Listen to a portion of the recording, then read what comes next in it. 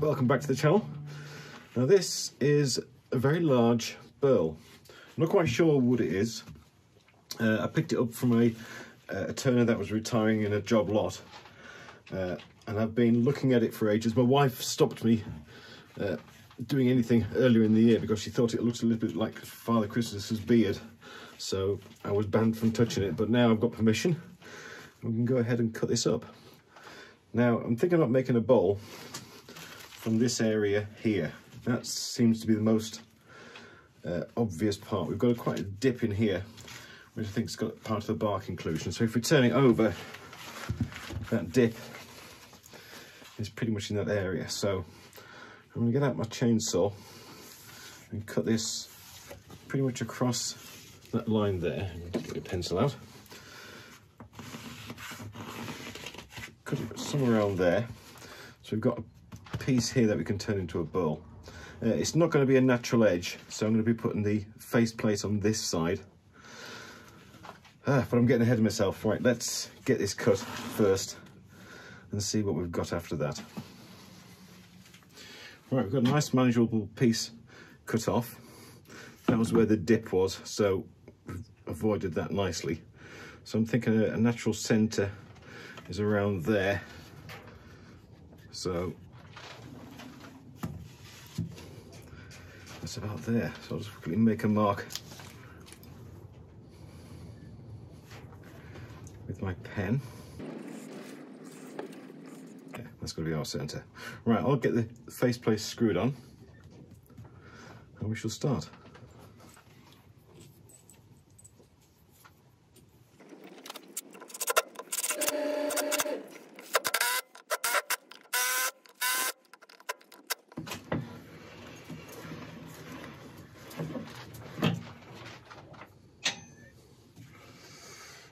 Can see, it's going to be out of balance at the start until we get this chunk taken back. So we'll uh, use tailstock support. Right, I'm going to go and sharpen up and uh, we'll get started.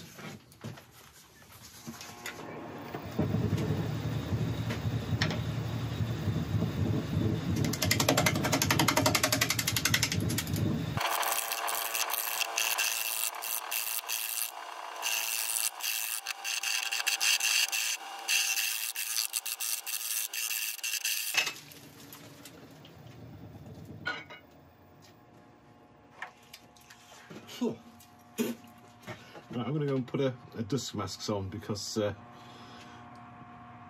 the dust coming, coming off this is actually quite, it's quite horrible. Right, but it's coming down. No actual proper cuts, more like scrapes at the moment. But hopefully that will improve.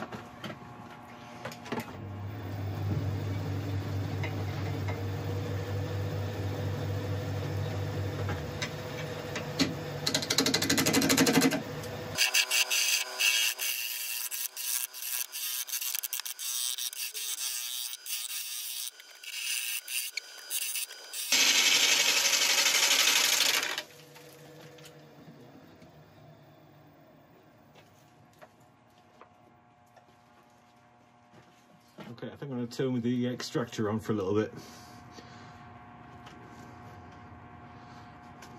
We've hit a bit of decent wood there. But I would like to have hit it a little bit sooner than this.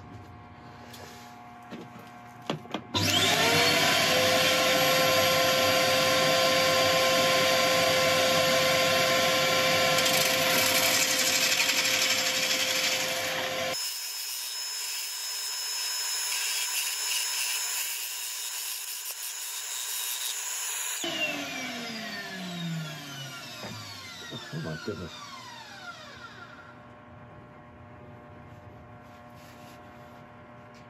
this isn't the experience I was expecting, but we're going to keep on going.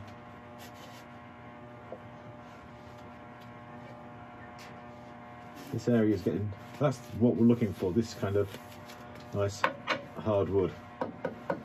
The rest is still really quite soft. Okay, carry on for a little bit more. I'm going to start shaping around here so I can get a foot on this. Just so we're ready to, to do that when the opportunity arises. Oh, God, I'm absolutely covered in this, whatever it's called.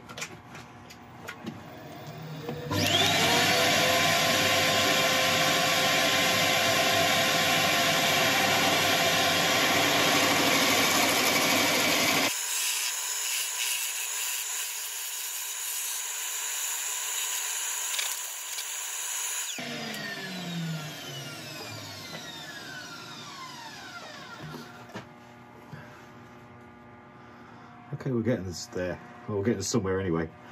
Right, I think the next step. Hang on, take the mask off so you can hear me. I think the next step we can take with this piece is to douse it in shellac just to try and firm up some of the surface to make some final cuts a little bit easier. So I'm going to give this a good blowout with my air hose. Actually, I might just quickly get this curve as, as nice as I can. Then I'll douse it in shellac and then we'll give it a good few hours to sit.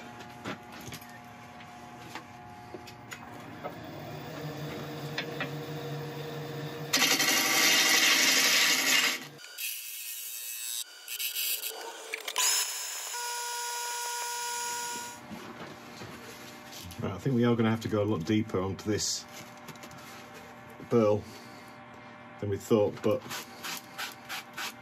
I'll give it a chance with a bit of shellac.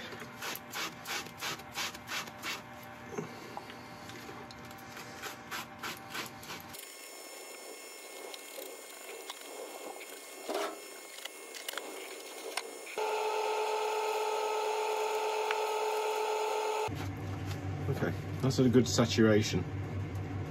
I can live with dodgy bits of wood up here, but I really need something solid here to create a tenon on.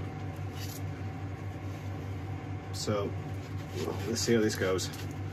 We'll give that a good few hours to sit in and harden, and then we'll come back. Okay, this has had a good five or six hours to set up. Uh, I'm going to leave the tailstock out for now. I'm going to go back in with a bowl gouge and just see how bad this is. If we can get down to some wood like this, then that would be fantastic and go forward. If not, I'm not quite sure what we're going to do with it.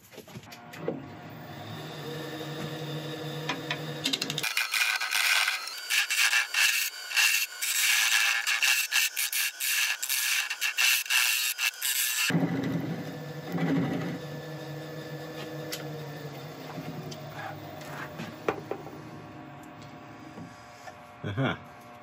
We've got the startings of some decent wood in there.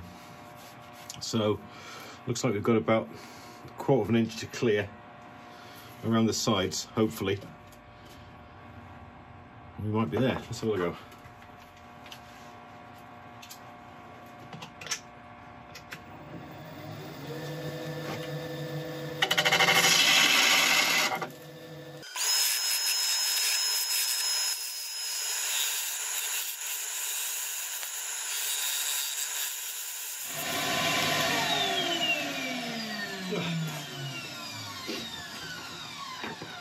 Well, that's not the best, uh, the nicest bowl turning experience of my life. Right, we're definitely making progress here. We've got a lot of, a lot more stable wood in here. So I think we're going to be all right. These gaps and stuff, that's all part of the burls. They're all completely normal. That's all fine. It's these bits here that we're going to have had issues with. The, the soft bits of wood, the small bark inclusions. That's what's given us all the problems. So I think another couple of scrapes round and then uh, I think I'm going to make an internal tenon on this. It's probably not the best idea in the world, but I think it'll work. I'll do a couple more scrapes and then we'll figure it out. Right, everything back on.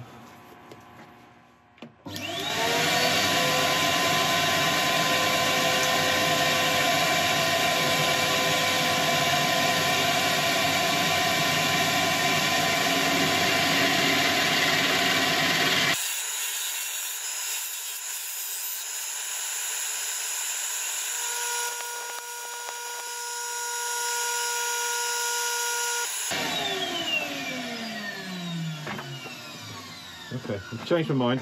Right, I've changed my mind. I am going to put a small foot on here, a small tenon to grab hold, hold of, because I don't trust this wood enough to put an internal tenon on. Sorry, yeah, internal recess to expand the jaws and not crack on me. So I'll put a small tenon on the bottom, and then we can start sanding.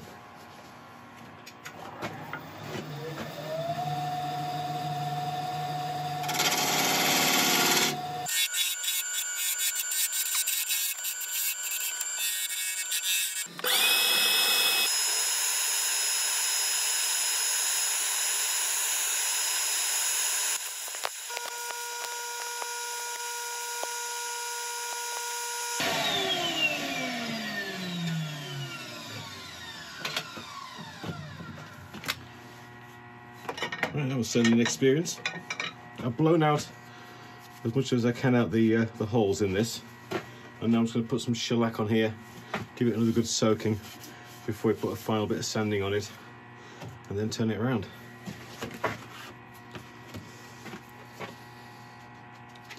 I'm using a paintbrush this time so I can make sure I can get right into the all the little marks and wormholes and burls and things like that.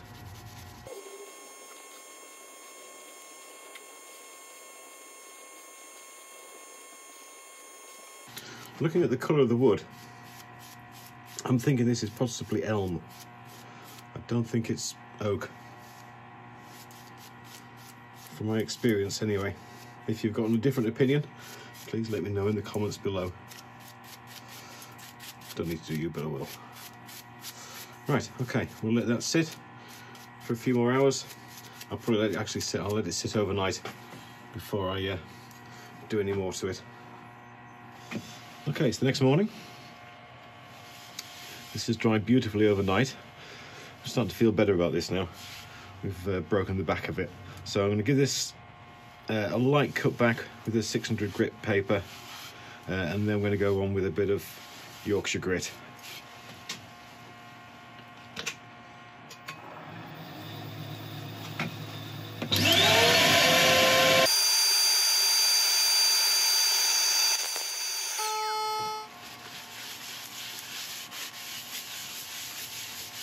Now this Yorkshire grit is going to get into these delves and stuff we've got. So at the end we're going to have to make sure we get them all cleaned out before we go into the next bit.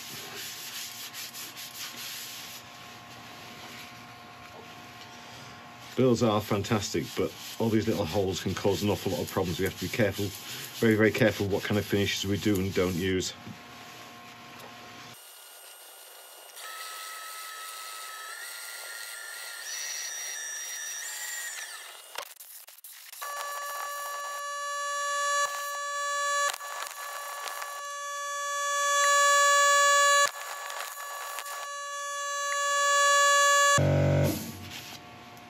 Go. That's the isopropyl alcohol on the cloth, just wiping off any remainder of the Yorkshire grit. Now we should make up a finish for this. Okay, that's enough time to evaporate. So the finish I'm going to use is a mix of boiled linseed oil and shellac. And I'm just going to put it on with a cotton rag.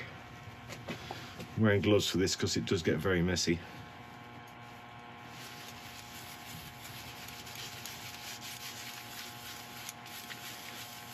I'm not using a, a hard wax for this because the holes we've got will just completely fill up with that wax and it'll be quite hard to get rid of.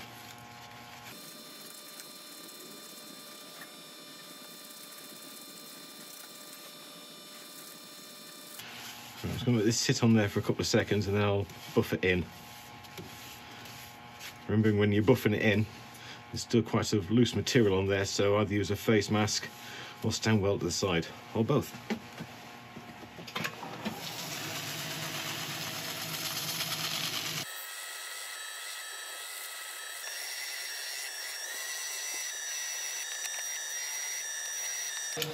Right, that's that. Now we can turn this around. Okay, we're all set up to hollow out. Uh, we're using tailstock support because we're not sure exactly how well this tenon is going to hold. Hopefully it'll be fine, but we will see.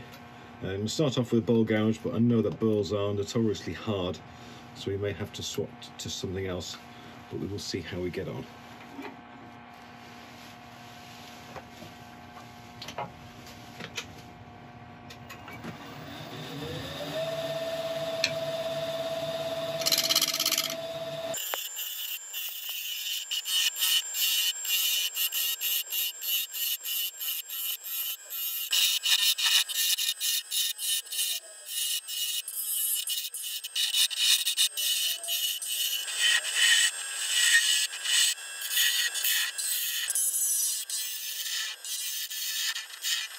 Right,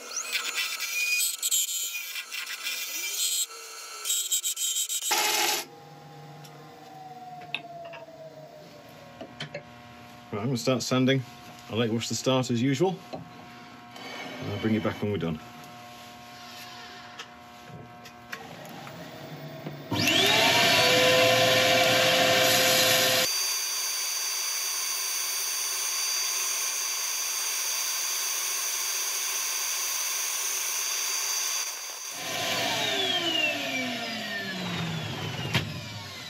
That went very, very well.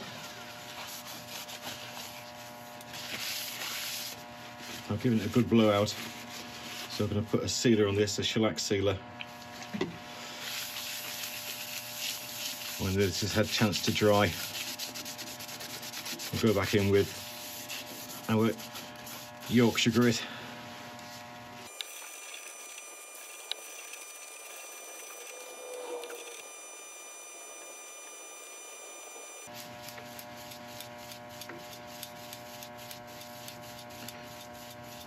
This a few seconds to dry.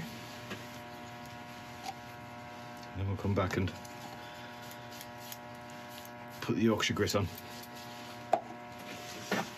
Okay, that's had long enough to dry, so quickly over with a 600 grit, and then we'll go in with the Yorkshire grit.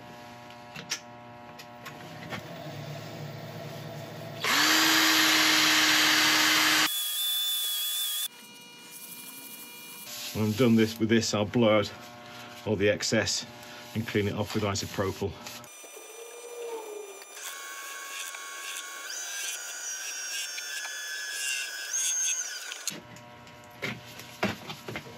And I'm finally on with the finish. Using the same finish as we did in the back, which is uh, boiled linseed oil and shellac.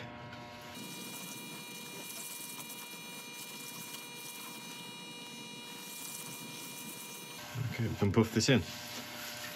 After the buffing this in, we've just got to turn it round, take off the tenon, and then we can have a look at what we've done.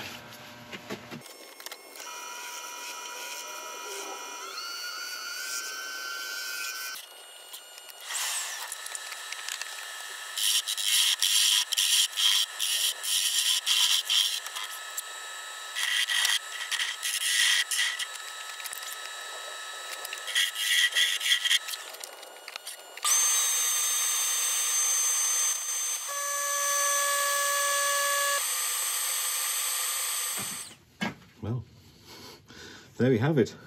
Who would have thought that halfway through when we were kicking up more dust than the Sahara, that would end up with such a, a pretty bowl. Well, I'm fairly convinced this is elm. Please tell me if you think it's something else. I am open to persuasion. But uh, I'm really absolutely overjoyed with the way this has come out. It's the first proper bowl uh, burr I've turned, so to have something come out of it which looks as gorgeous as this is uh, is really quite pleasing.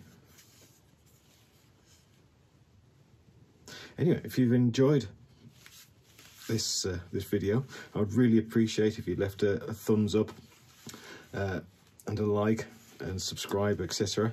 Uh, and if you leave a comment as well, then you're going to be entered into the giveaway for a bowl when we get to our one year anniversary, which is on the 16th of March, just a few weeks away. But apart from that, thank you very much indeed for watching. Sorry, I'm a little bit stunned, but uh, this is just absolutely gorgeous. Right, anyway, thank you very much indeed for watching. I'll see you next time.